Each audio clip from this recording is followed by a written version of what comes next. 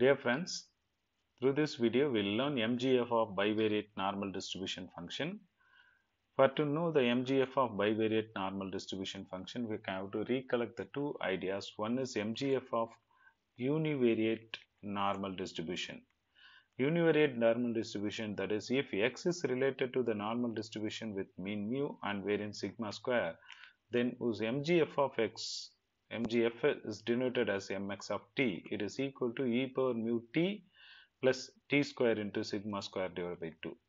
So this idea of how to recollect. This is the idea from the the previous stage in that the last semester what we learned and and it can be written in the form of exponential of suppose we we can use a e power or otherwise exponential that we have idea here and the second idea is uh, suppose instead of the x variable I have a variable that with a conditional distribution that is y given x whose the mean value is mu x and variance value sigma uh, mu uh, sorry the mean value is mu star and the variance value sigma star.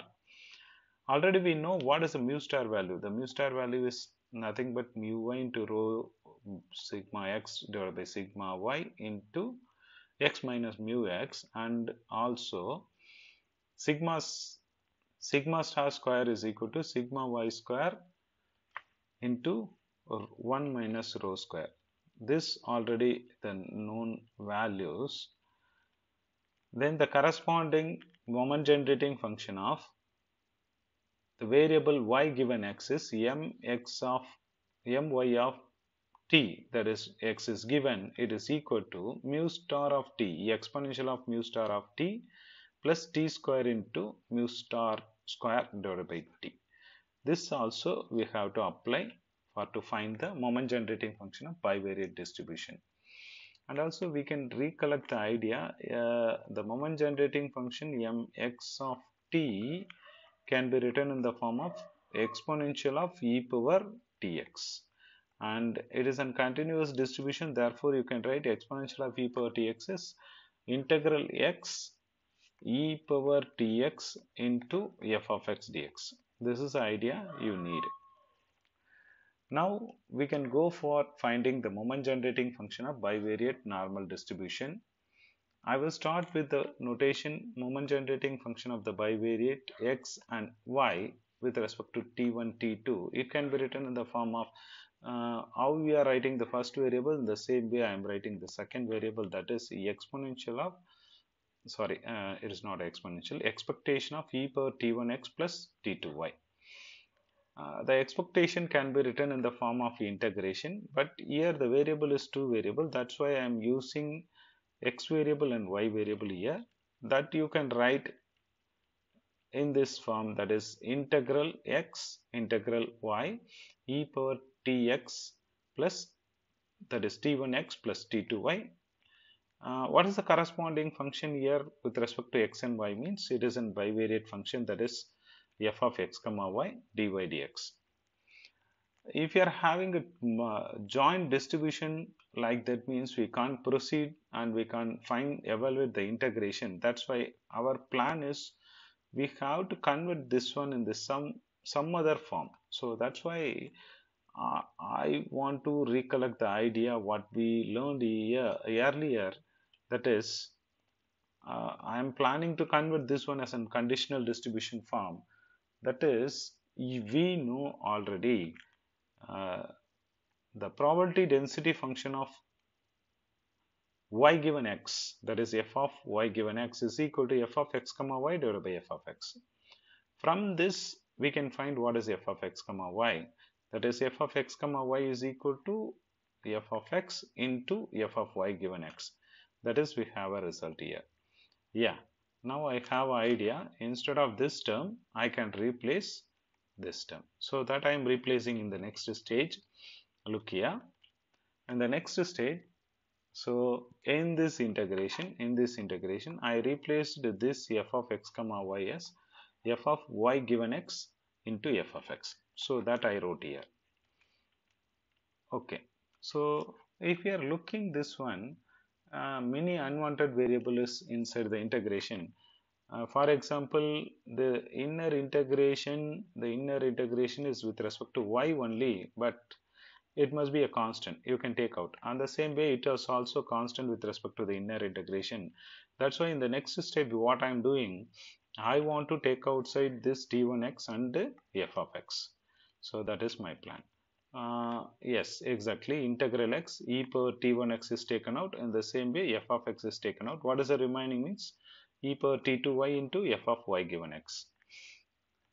But if you are looking the inner integration uh, something what we what we discussed earlier it is coming now that is integral y integral over y uh, e power e power t to y into f of y given x.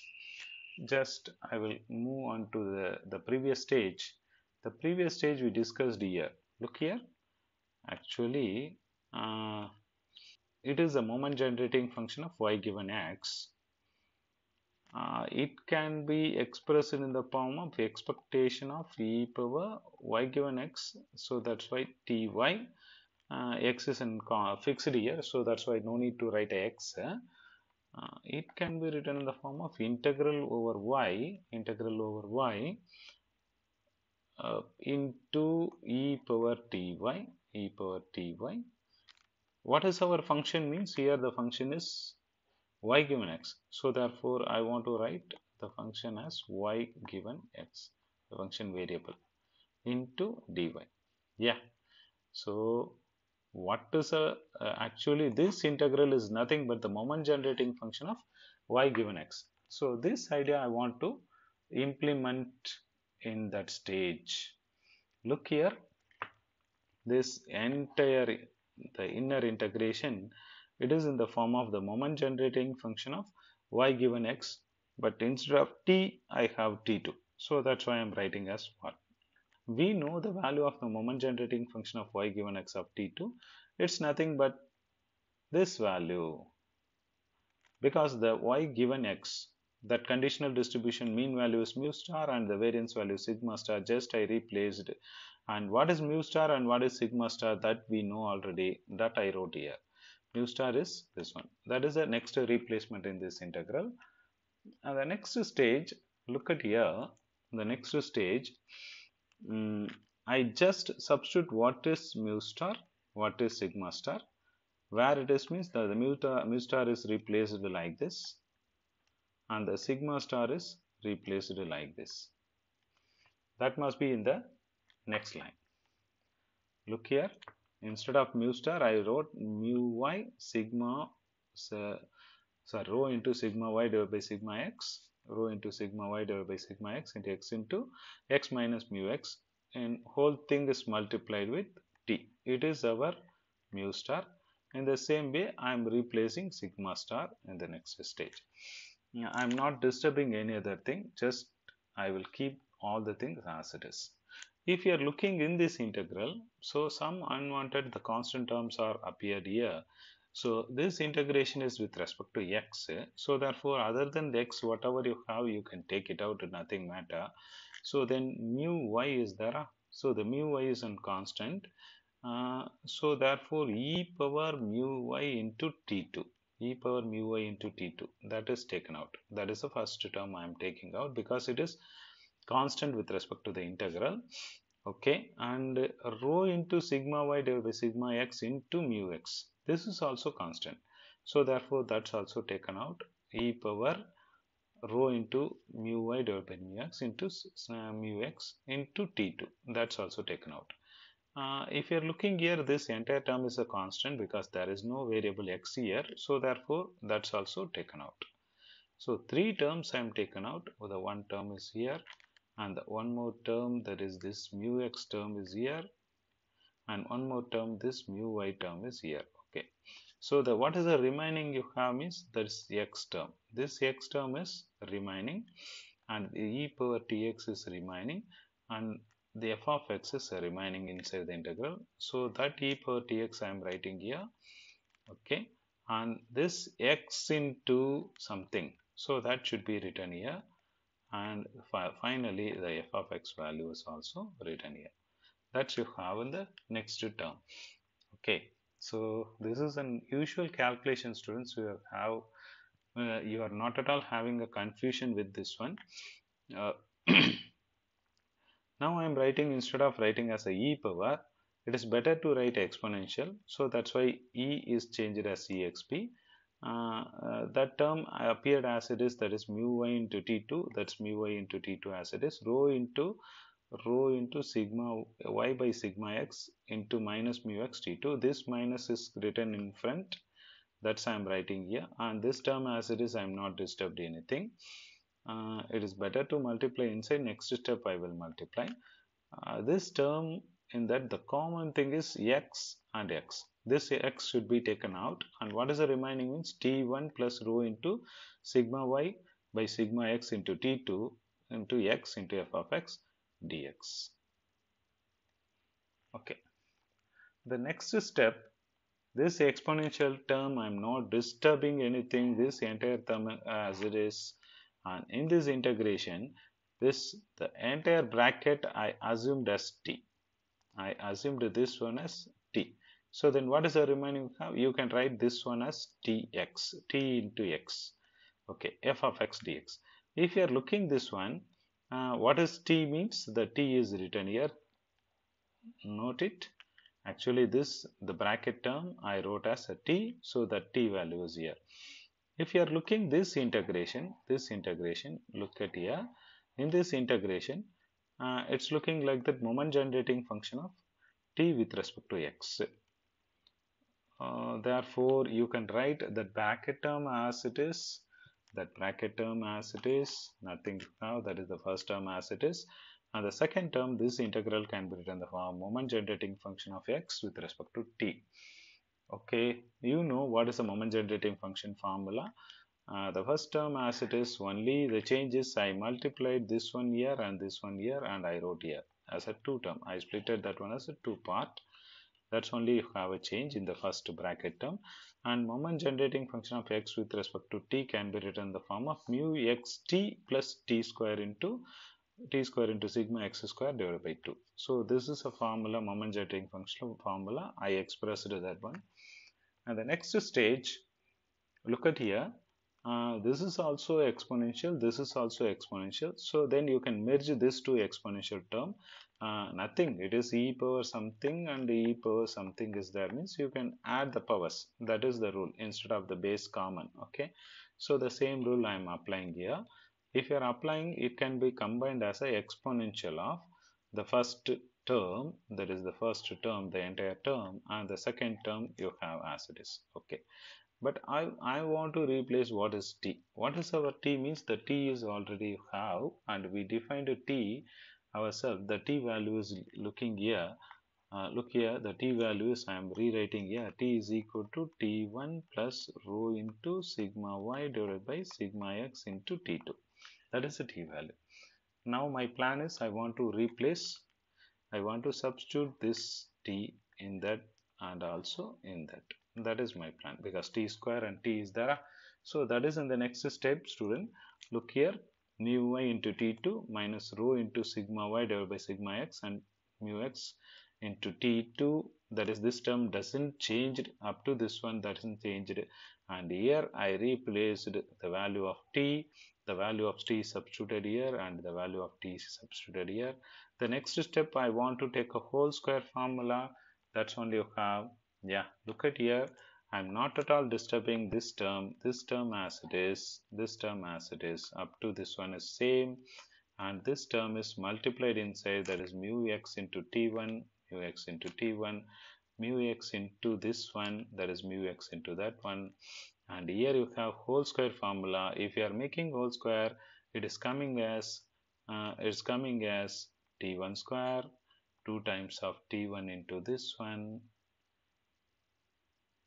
and the finally uh, a plus b whole square is a square. It is a a square term. It is a a square term. It is a 2ab term. It is 2ab term. Looking like here you have b square term b square term. So that is a plus. It is a. It is like a b. A plus b whole square. A plus b whole square can be written like that. And every term is multiplied with sigma square divided by 2 sigma square divided by 2 sigma x square divided by 2 sigma x square divided by 2 yeah after simplification of this one if we are looking here uh, this sigma x square whole square this one and this one is cancelled i think. Uh, here nothing is cancelled but here you have sigma x square and sigma x square. Sigma x square. These two are cancelled. Yeah this term and this term is cancelled. In the similar way this term it is mu x t2 mu x t2 rho into sigma y by cx okay this term and this term is cancelled. What are the remaining term you have is this one and this one and this one and it is also appeared. Yeah that's all. One one two three four. Four terms are there. Okay. So uh, i will write that four terms now. Uh, what you have means that is first I am writing the third term. The third term is oh sorry. Third term is here. So the third term is mu x t1 first term is here. That is mu y t2 and second term yeah second term I am writing here but 1 by 2 is there. That 1 by 2 is taken common okay? That is second term it is in second term. I'm writing number it is better. It is in second term okay? It is a first term this is in third term and finally I have two more terms. Oh sorry this is one more term you have fifth term okay? Uh, fourth term I am writing here the 1 by 2 is taken out this 1 by 2 is taken out uh, finally you are having what fifth term the fifth term uh, here also the 1 by 2 is there that 1 by 2 is taken out yeah so that's all students. Finally, we found what is an MGF. This must be the MGF. This is an MGF of that bivariate normal distribution. That is MGF of bivariate normal distribution is e power mu x t1 plus mu y t2 plus 1 by 2 into t1 square sigma x square plus t2 square sigma y square plus 2 times of t1 t2 into sigma x sigma y. This is you have a moment generating function of two variable. In this way we are providing the result of the moment generating function of two variable. Thank you students. I hope you have idea